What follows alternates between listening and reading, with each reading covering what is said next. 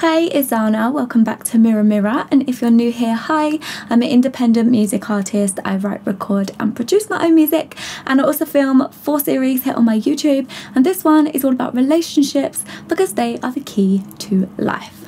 So for this video, we are going to talk about something that I have been learning over the past year or so, maybe even longer than that. To be fair, it's probably a lifelong lesson for everyone, but definitely in the last six months, I have really been learning this bloody lesson, which is not fun. and this is a daily habit that I have started to implement for myself because I noticed especially as a child, that I would absorb everybody else's mood, everyone else's emotions and thoughts and belief systems. Oh my god, belief systems like a major one.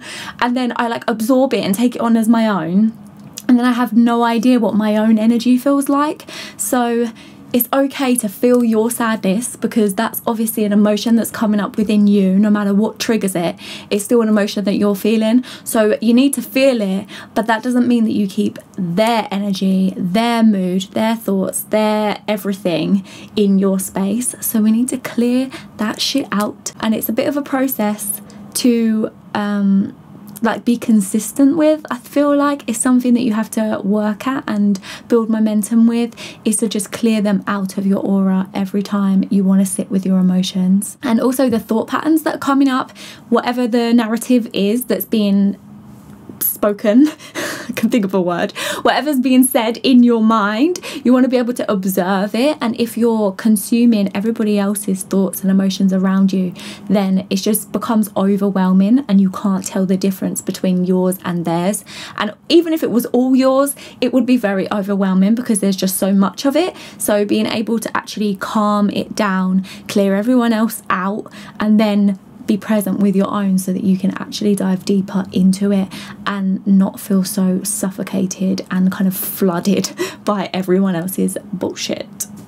And that is as simple as an intention, as a visualization. There's so many ways you can do it, but it's just whatever you want to do and whatever feels best for you because it's effective no matter how you choose to do it. For me, I like to set intentions, I like to visualize it because I am a visual person. I am a Pisces, so it's very easy to just see pictures and images in my head.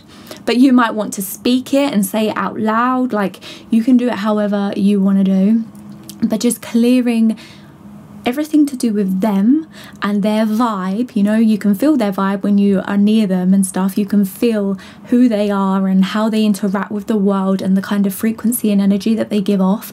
So, clearing that out of your space so that you can actually process your own emotions in your own energy and in your own aura without all of these cracks and all of these other people infiltrating that and kind of taking over your space. Because it's very very hard to process your emotions when you're not sure whether your emotion is yours or whether it's somebody else's you know? So clearing them out so that you can actually sit with how you feel and what you're going through and be able to work through that on your own without them infiltrating your space so I hope this video was helpful. Thank you so much for watching. I really appreciate you. Definitely check out the description box below for all links about me and links to my music and everything else.